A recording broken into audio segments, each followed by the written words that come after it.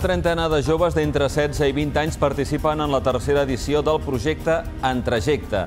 Es tracta d'una iniciativa del Servei de Joventut i Lleure Infantil que vol millorar l'ocupabilitat d'un col·lectiu que ha quedat al marge del sistema educatiu. L'objectiu és descobrir-los noves professions que potser no coneixien. L'atur baixa a Terrassa per quart mes consecutiu. Ara hi ha a la ciutat a poc més de 16.000 persones sense feina. Són 110 menys que el gener, que representen una baixada de 7 dècimes. La taxa d'atur a Terrassa és ara del 15,5%. La patronal Secot valora positivament la disminució de l'atur del febrer, però recalca que cal aprofundir en reformes que afavoreixin la reactivació econòmica. Al Terrassa Futbol Club només li va la victòria en el seu desplaçament a Vilafranca. De no guanyar el camp del tercer classificat, un rival directe, l'equip agarenc s'allunyaria molt de la zona de play-off descens, ara a 5 punts. Xapi Arnau és seriós dubte per aquest partit.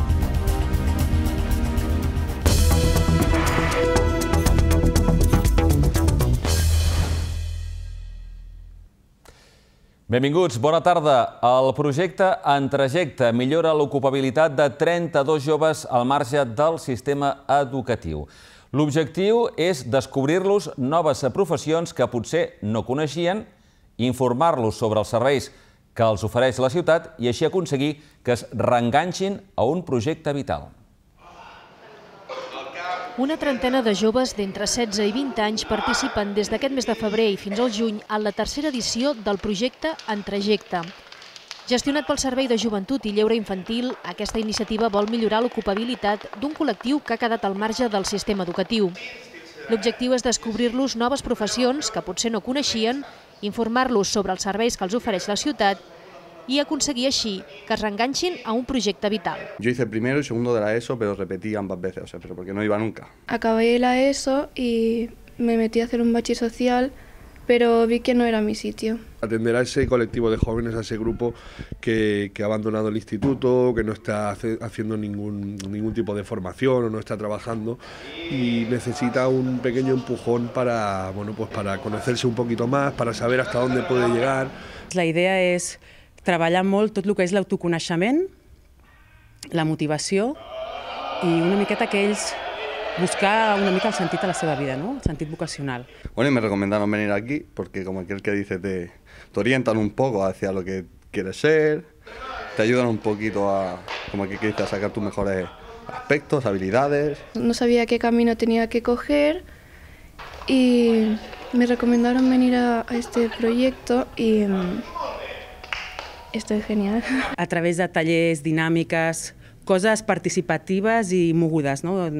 que no hagin d'escriure de, com a l'institut, perquè així no els hi recorda molt, però sí que hagin de com una mica pensar i donar voltes a, al que ells són, al que, al que ells volen. Yo creo que este es un formato que les hace sentir más cómodos, que les hace pues, poder expresarse un poquito mejor, con más, con más tranquilidad, con, con más confianza. Yo creo que esa es la grandeza del proyecto, ¿no? que, que donde aquí se pueden sentir cómodos y quizás en otros sitios no. Más o menos me imaginaba esto, pero bueno, lo que no me imaginaba es que hubiese tan buen grupo y tan buen rollo. Sobre todo mucho trabajo en equipo, autoconocimiento. Ya hemos visto unas cuantas películas que hablan sobre eso. La motivación, que uno mismo se puede dar a sí mismo. Cuando empecé creía que iba a ser todo muy aburrido, teórico, que la gente no íbamos a cuadrar bien, pero Es un grupo muy, no sé, como que somos uno todos. La idea és una miqueta motivar-los i que vegin que, que tots tenim habilitats i que tots podem fer alguna cosa i que tots podem seguir estudiant si ens ho proposem i si de veritat volem. Me consta que, que conseguimos que, que muchos jóvenes salgan de aquí sabiendo que, que, que tienen capacidades que antes de llegar no, no conocían. Mi objetivo en cuanto termine esto es meterme en la escuela de adultos, de nuevo, volver a estudiar, formarme un poquito más y en un futuro, pues mi, bueno, mi propósito es ser policía, vaya. Yo sinceramente me gustaría hacer algunas ramas sobre la sanidad y mm, también me han aconsejado que ahora haga voluntariado i així ver si ver, verdaderamente me gustan. Quan acabin això no, no tindran un títol ja, o, sinó que la idea és, a partir de que acabem nosaltres, comencem en realitat el que és la vida real, el que és el nostre camí i anar passet a passet. A les dues primeres edicions del projecte En Trajecte hi van participar un total de 62 joves. Del total, 48 van recuperar l'activitat, incorporant-se a cicles formatius, cursos i programes d'inserció i formació. Doncs parlant de qüestions relacionades amb l'àmbit laboral, l'atur segueix a la baixa per quart mes consecutiu i durant el mes de febrer es van contractar 110 persones a Terrassa. La tendència és similar a la comarca. Per exemple, a Sabadell, però, ha pujat i a Ripollet és on ha baixat més. L'atur baixa a Terrassa per quart mes consecutiu. A 28 de febrer hi havia a la ciutat 16.263 persones sense feina. Són 110 menys que el mes passat, que representen una baixada del 0,7%. La taxa d'atur a la ciutat és ara del 15,5%. En els darrers 12 mesos, l'atur ha caigut en 2.621 persones a Terrassa, gairebé un 14%. Al Vallès Occidental, el febrer es tanca amb 57.429 persones sense feina. És una baixada de 262 aturats respecte al gener, un 0,5%. L'atur comarcal al febrer és del 13%. En un any, l'atur comarcal cau en el 13,1% en 8.664 persones. Si bé l'atur ha baixat en 110 persones a Terrassa, a Sabadell ha pujat en 9. Ripollet és el municipi on més ha baixat, en 79 persones, seguit de Rubí amb 53, Cerdanyola amb 38 i Sant Cugat amb 33. L'increment més alt s'ha registrat a Santa Perpètua de la Mogoda amb 38 aturats més. La patronal Sacot valora positivament la disminució de l'atur del febrer, però recalca que cal aprofundir en reformes que afavoreixin la reactivació econòmica i la competitivitat de les empreses, flexibilitzant les condicions laborals. La Sacot alerta que si no es posen mesures amb celeritat, es pot haver de tornar a recórrer a la selecció en origen per determinats perfils professionals que els autòctons no volen cobrir. Davant d'aquest escenari, Sacot Formació posa en marxa aquest mes un programa pilot per formar joves en torn fresa i soldadura en el marc d'un programa del Servei d'Ocupació de Catalunya.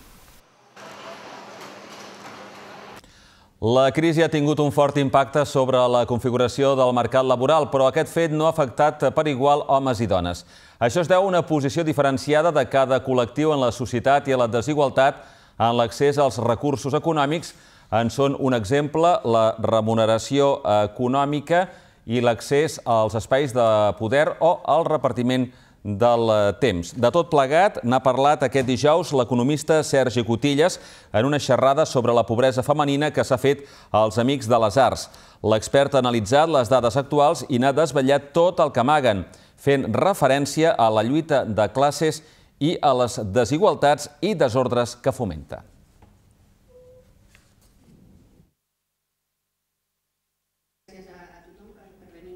Com han de reclamar els afectats per les clàusules terra la devolució de les despeses que els pertoquen? La resposta l'ha intentat donar aquest dijous l'Associació d'Usuaris de Bancs, Caixes i Asseguradores, ADICAE. Ha estat en una sessió informativa a la Biblioteca Central, organitzada pel Servei de Consum de l'Ajuntament de Terrassa. Al gener, el Tribunal de Justícia de la Unió Europea va declarar il·legals les clàusules sol. Això obliga les entitats financeres a tornar amb caràcter retroactiu els diners que han cobrat de més els clients. Cal, però, que les persones afectades presentin una reclamació al banc. El responsable de DICAE ha explicat quins passos cal seguir per fer aquesta reclamació. Recorda també que encara hi ha molta gent que no sap si està afectada i si té dret a reclamar. On hi ha menys dubtes és en les despeses de formalització de la hipoteca, també abusives, i on l'afectació és molt generalitzada. Nosaltres proposem d'utilitzar la via del decret de llei, vale, que ha sortit pel Tribunal Europeu, sempre tenim clar que és una via extrajudicial, que no, no, o sigui, no entrem en demandes, vale? és una via extrajudicial que, que ens dona aquesta via i jo, pues, ara com comentarà la xerrada, eh, jo animo a tota la gent que l'utilitzi, vale? gent que, que tingui que hagi tingut pactes amb el banc, el que sigui, tothom pot afegir-se a, aquesta reclamació. Les entitats financeres han de retornar tots els diners que hagin pagat a les persones consumidores des de que van signar l'escriptura. Ara caldrà veure quines són les propostes que fan les entitats financeres i si les eh, persones consumidores ho accepten, es tancarà l'expedient i es posaran d'acord i eh, se solucionarà i aquelles en les que no hi hagi acord entre, entre la proposta que faci l'entitat financera i la persona consumidora, doncs probablement eh, hauran d'acudir a la via judicial. El responsable de DICAE reconeix que les entitats financeres comencen a fer petites passes per arribar a acords amb els clients afectats i complir la sentència del Tribunal Europeu. No obstant, obre la porta a anar a la via judicial si els bancs no retornen als clients els diners cobrats il·legalment. I es va fer públic el 21 de gener. Han ingressat a presó dos dels cinc joves detinguts pels Mossos d'Esquadra per apallissar-ne un altre a qui havien enganyat amb l'oferiment d'una cita amorosa en uns fets que van succeir el passat cap de setmana. Una de les eh, persones detingudes, per venjança i en connivència amb el grup, va proposar en una zona poc transitada de la Ronda de Ponent, a la Maurina, una trobada íntima al jove agredit, amb l'únic objectiu d'apallissar-lo. El grup es va carnissar amb la víctima i, usant objectes contundents, van colpejar-lo al cap fins fracturar-li la mandíbula. També va perdre diverses peces dentals.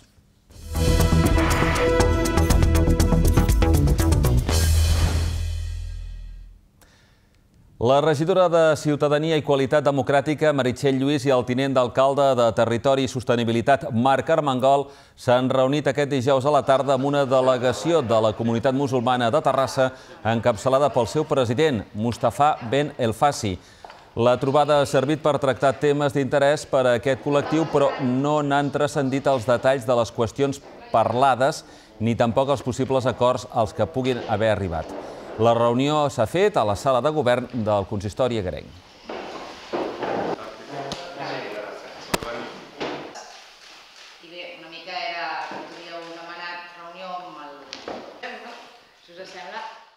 El... Les càpsules de cafè, per reciclar-les, cal dipositar-les en uns contenidors especials situats a les deixalleries municipals. És un gest que costa més de fer, però tot i així al Vallès Occidental durant l'any passat es van reciclar gairebé 2 milions de càpsules.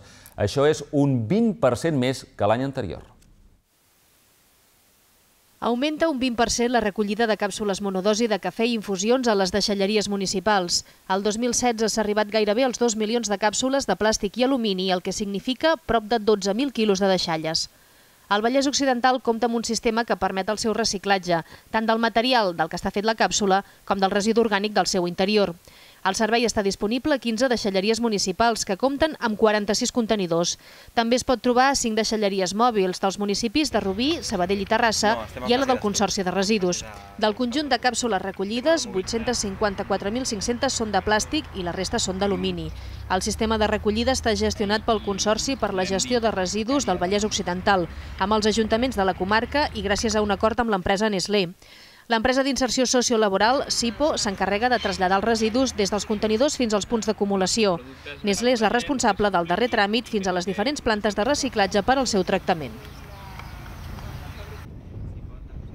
Canviem de tema, us parlem ara del Museu Tèxtil, que exposa una quarantena de peces de roba egípcies dels segles IV a l'XI. Es tracta d'una coproducció entre la col·lecció de Ramon Roca, que va cedir a l'abadia de Montserrat, i del fons del mateix Museu Tèxtil. Són peces de la comunitat copta, nom amb què es coneix els cristians d'Egipte. El teixit que es feia a Egipte entre els segles IV i XI es poden veure ara en una exposició al Centre de Documentació i Museu Tèxtil del carrer Salmeron. Teixits de la vall del Nil mostra una quarantena de trossos de peces de la comunitat copta, nom amb què es coneix els cristians d'Egipte. Es tracta d'una coproducció entre la col·lecció de Ramon Roca, que va cedir a l'abadia de Montserrat, i del fons del mateix Museu Tèxtil. Aquest dijous s'ha inaugurat l'exposició amb la presència del diputat Jaume Ciurana i el tinent d'alcalde Amadeu Aguado. La mostra és el resultat de la primera col·laboració entre Montserrat i el Centre de Documentació. A Montserrat eh, hem portat una sèrie de, de fragments decoratius Sí, la majoria són de base de lli, però llavors les decoracions sobretot hi ha llana, seda, inclús cotó. Curiós com a través dels fragments aquests decoratius doncs podem trobar eh, aquestes diferents eh, eh, elements de, de la cultura copta al llarg de tots aquests segles. Són mostres, eh, peces tèxtils des del segle III aproximadament fins al X-XI, que es conserven en prou bon estat, que, bueno, a part de la tècnica, la matèria, no, totes les, la, els tints, etc, és veure l'estat de conservació de, de peces de fa tants, tants i tants segles que s'han conservat prou bé. Sobretot dues que estan senceres, un vel i una túnica. Els coptes extreien de la terra el cotó i el lli d'origen vegetal i la llana d'origen animal. Llana i lli eren els materials més utilitzats també en les decoracions pel seu color resistent. Per a les teles més valuoses utilitzaven la seda que aportava un elegant brillantor. Paral·lelament, el museu organitza activitats com una sessió de conte, tot trobant els animals que es poden identificar en els teixits exposats. L'exposició es podrà veure fins al 23 de juliol. Doncs bé, l'Arxiu Comarcal ha digitalitzat dos vídeos del fons de l'escriptora Anna Murià. A través del canal YouTube de l'equipament es pot consultar la reconstrucció del film Alma torturada, amb la representació de l'actriu Margarida Xirgo i una entrevista a l'escriptora parlant del seu pare. L'Arxiu Comarcal del Vallès Occidental ha digitalitzat dos vídeos del fons de l'escriptora, traductora i periodista terrassenca Anna Murià. Els enregistraments en cintes de VHS es poden consultar al canal de YouTube de l'equipament vallèsà. Aquests dos documents són singulars i permeten conèixer detalls de la seva vida i de la seva família, en concret del seu pare, el cineasta Magí Murià. Així, ja està penjada a la xarxa l'entrevista entrevista íntegra realitzada per Eli Bartra a la seva mare parlant del seu avi. També es pot tenir accés al documental Magí Murià, el pioner diletant, una peça bàsica per a la història del cinema català del segle XX. Aquest darrer document reconstrueix el film Alma torturada de 1917, on hi figuren l'actriu Margarita Xirgo i l'actor Ricardo Puga. Al mateix temps, el catedràtic d'Història de Cinema de la Universitat de Barcelona, Miquel Porter explica el naixement de la producció cinematogràfica barcelonina. Anna Murià està considerada una de les plomes femenines catalanes més importants del segle XX. Ella i el seu marit, el poeta Agustí Bartra, van patir un exili de 40 anys amb altres escriptors catalans com Mercè Rodoreda, Pere Caldés i Pere Quart. A la tornada es van establir a Terrassa fins al final de la seva vida. L'arxiu custodia unes 254 hores d'enregistrament enregistraments audiovisuals en suport analògic de temàtica i naturalesa diversa.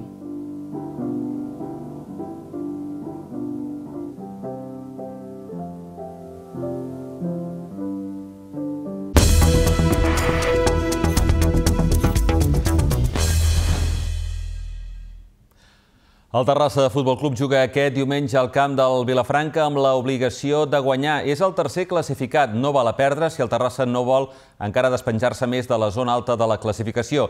Ja a la primera volta, el Vilafranca va guanyar l'Olímpic per 0 a 3. El tècnic agarenc, Agustín Bacas, no podrà comptar, o si més no és dubte en aquests moments, amb el jugador Xapi Arnau. Jornada decisiva per al Terrassa Futbol Club. Els Agustín Vaques visiten aquest diumenge el tercer classificat al Vilafranca, amb l'obligació de guanyar si no volen despenjar-se del tot dels llocs de play-off, ara mateix a 5 punts. La derrota contra el Paralada encara cou dins el vestidor agarenc, perquè jugadors i cos tècnic creuen que van mereixer més per la imatge mostrada sobre el terreny de joc. Està clar, doncs, que aquest proper desplaçament és una autèntica final.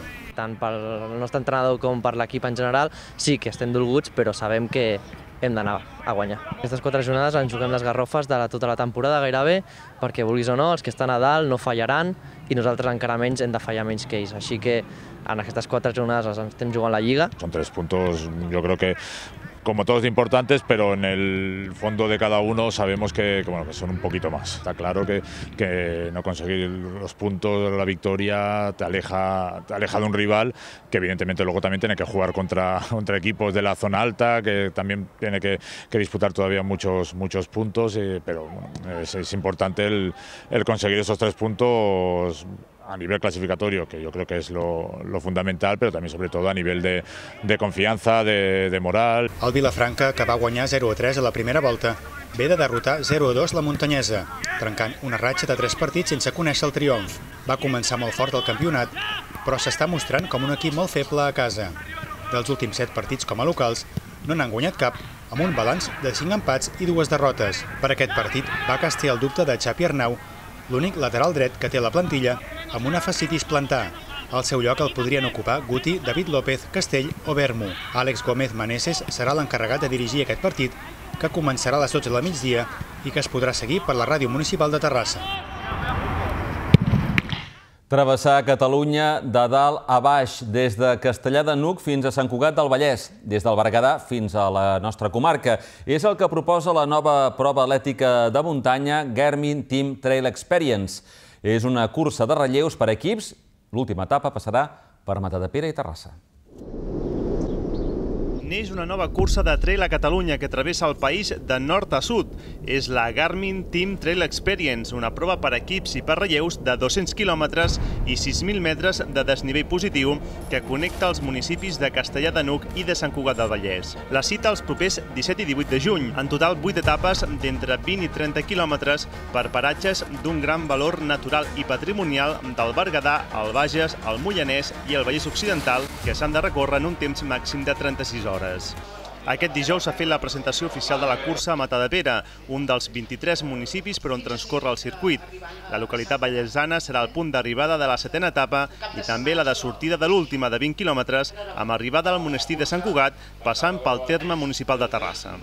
Des de l'organització s'ha insistit que la cursa no va adreçada exclusivament a corredors professionals de muntanya i que va molt més enllà de l'esperit competitiu. Nosaltres amb això el que hem intentat és definir una nova, una nova forma de viure a la muntanya, de viure les curses de muntanya. En aquest format volem combinar l'aventura, de viure durant un cap de setmana eh, de manera ininterrompuda amb un, format eh, non-stop, aventura, repte esportiu, perquè evidentment eh, quan hi ha un cronòmetre pel mig i hi ha un repte i unes limitacions temporals, el repte esportiu d'arribar existeix i també aquest component de treball en equip que creiem que és el que realment li dona singularitat a, amb, aquesta, amb aquesta cursa. La Garmin Team Trail neix com una idea innovadora i ambiciosa que s'ajusta al projecte engegat per la Diputació de Barcelona d'adequar camins esportius en entorns naturals. Nosaltres hem fet una, un estudi, hem detectat bàsicament 1.600 quilòmetres de camins en l'àmbit eh, local de camins que reuneixen les condicions per ser camins esportius i que nosaltres volem anar impulsant d'aquí a final del mandat d'anar convertint eh, i d'anar eh, adequant aquests camins per a la pràctica esportiva. La cursa es pot disputar en solitari o en relleus per equips de 2, 3 o 4 persones que han de realitzar el relleu en els 8 municipis establerts com a controls de pas. Per participar és obligatori disposar de llicència federativa o contractar-ne una de temporal per a aquesta prova. La previsió de l'organització és que hi hagi unes 1.000 inscripcions corresponents a uns 250 equips.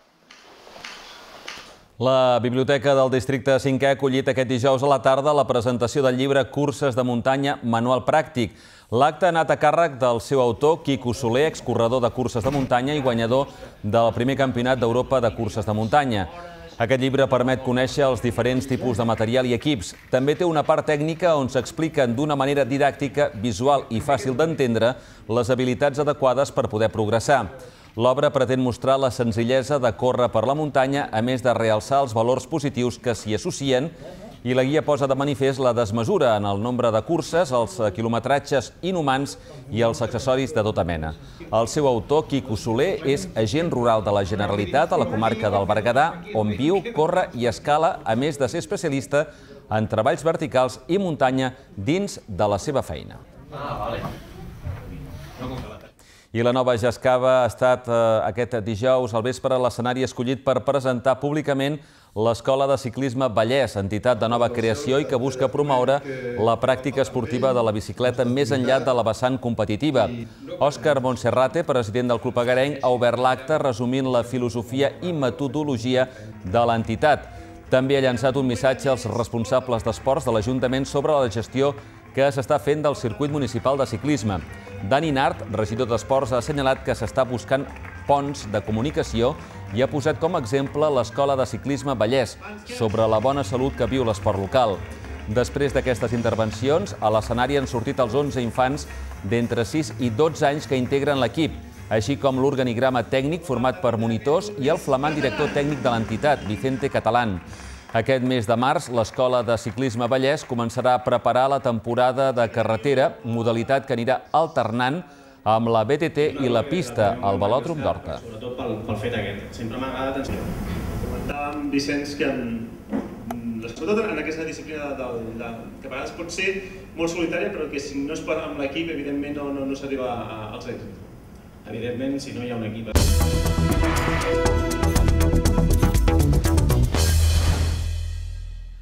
Neix una nova diada castellera que promet ser de les més importants de la temporada. Els Minyons de Terrassa recuperen la diada de la nova Atenes. Serà l'1 d'octubre. Vindran la colla vella dels xiquets de Valls i, atenció, els castellers de Vilafranca. Els Minyons de Terrassa recuperen la diada de Nova Atenes. La faran el proper 1 d'octubre. Els responsables de la colla Malva defensen que serà la millor actuació que es pot veure dia d'avui en el panorama casteller. La jornada comptarà amb un cartell de luxe, amb la colla vella dels xiquets de Valls i els castellers de Vilafranca al costat de la colla local, els Minyons de Terrassa. Serà la segona edició de la Diada de la Nova Atenes. La primera es va celebrar el 2015 al Parc de Sant Jordi, amb la participació també de la colla vella dels xiquets de Valls i els castellers de Sants. La Nova Atenes es va crear per portar Terrassa a les colles més grans del país en el millor moment de la temporada. Deu el seu nom a la voluntat dels Malves de reforçar culturalment la ciutat, fent seva la idea difosa per Eugeni d'Ors durant el modernisme. D'altra banda, els Minyons acaben de fer públic el seu calendari fins l'estiu. Del conjunt destaquen les actuacions previstes a Tarragona, on no actuen des del 2006, Figueres, que no visiten des del 2001, i Sant Padó, on hi actuen per primera vegada. A més, es mantenen el calendari cites fixes dels darrers anys, com el Corpus a Cornellà, l'aniversari del bateig dels bailets de l'Empordà o la Diada de Can Jorba a Barcelona. A Terrassa els Minyons hi actuaran 8 vegades fins al juliol. I s'ha obert la convocatòria del 15è Premi Bienal de Pintura Ricard Camí. Fins al dia 30 d'abril es poden presentar les obres digitalitzades a través d'un formulari de la pàgina web de la Fundació Antigues Caixes Catalanes. El guanyador es coneixerà el dia 14 de setembre. La Fundació Antigues Caixes Catalanes i BBVA convoquen el 15è Premi de Pintura Ricard Camí. El certamen bienal té com a finalitat estimular la creació pictòrica i contribuir a la promoció de joves valors catalans o residents a Catalunya. El premi està dotat amb 12.000 euros per a l'artista i 6.000 euros més per a la projecció de l'obra guanyadora a través d'una exposició individual al Centre Cultural que posteriorment podrà ser itinerant. Fins al 30 d'abril es poden presentar les obres digitalitzades a través d'un formulari de la pàgina web de la Fundació. El jurat del certamen, format per historiadors i crítics d'art, artistes i directors de museus i galeries, farà una preselecció de les obres participants que es presentarà al Centre Cultural del 22 al 27 de maig.